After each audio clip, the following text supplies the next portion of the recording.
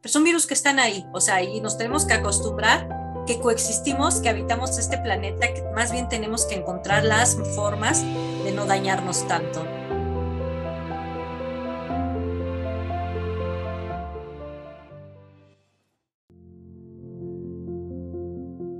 es una enfermedad inflamatoria y se generan trombos, y sobre todo, bueno, esto se empezó a ver en los pulmones, pues se pueden generar a nivel sistémico, es decir, a nivel de todo el organismo.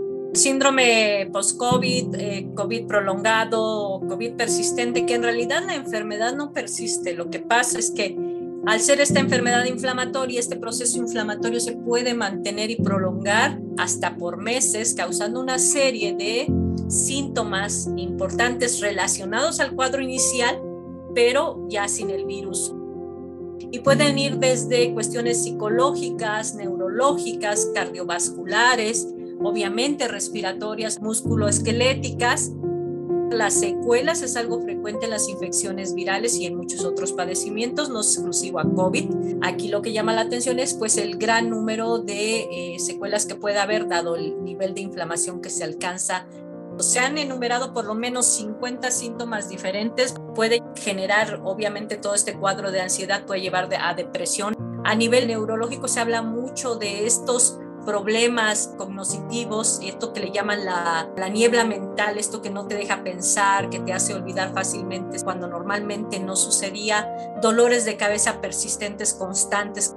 Hay personas que reportan que no pueden ya distinguir entre los sabores o solo pueden sentir dos sabores y no ya la gama que nuestro sistema puede detectar, problemas para conciliar el sueño, mareos, vértigo, incluso muchas personas aún después ya de haber salido del cuadro de COVID pueden llegar a cuadros en los que hay paro cardíaco, algunas afectaciones cardíacas serias. El desgaste a nivel orgánico parece ser muy grande y esta fatiga que puede durar muchísimo. También puede haber inflamación de articulaciones, dolores musculares. El virus ya no está, el virus dura 10 días con nosotros máximo, ya se fue.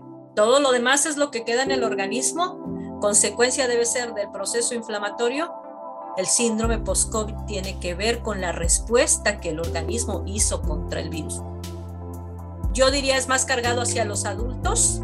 Claro, en los niños también ocurre y se conoce como síndrome inflamatorio multisistémico y puede ser grave también.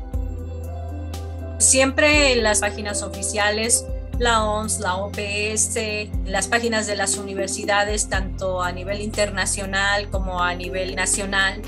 También obviamente tenemos páginas como las del CDC en México, van subiendo la información muchísimo más filtrada, confiable. Creo que tenemos que voltear a ver nuestro cuerpo con muchísima más responsabilidad. Tenemos que llevar una vida más activa, realmente dedicarle más tiempo a ese cuerpo que es con lo único que tenemos para transitar por esta vida y que una vez que comprometemos su salud es muy difícil regresar.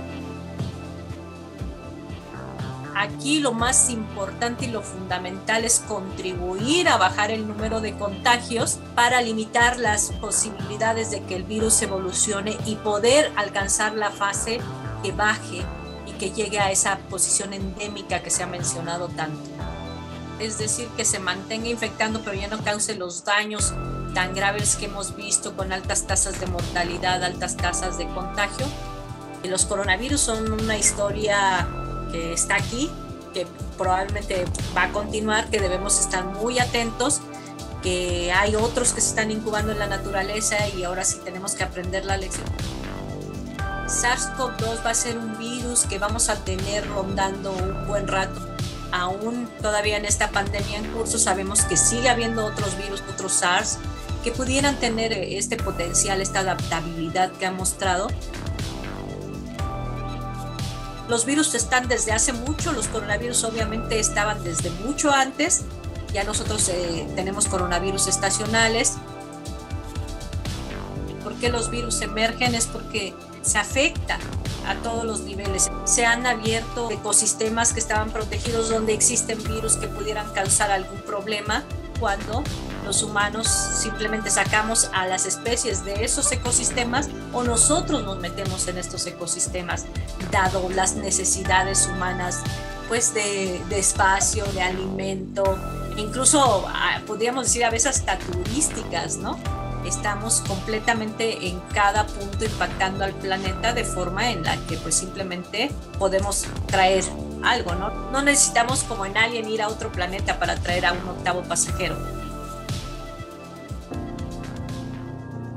Nos tenemos que acostumbrar que coexistimos, que habitamos este planeta, que más bien tenemos que encontrar las formas de no dañarnos tanto, ¿no? Entonces, y eso lo vamos a lograr a través de nuevas visiones de cómo tratar las enfermedades. Existe por ahí una visión que se llama una salud, es decir, tenemos que pensar en la salud humana, animal, de ecosistemas. Mientras lo sigamos viendo simplemente como salud humana, estamos muy lejos de tener una solución real a este tipo de problemas. Porque todos juntos son los que pueden contribuir.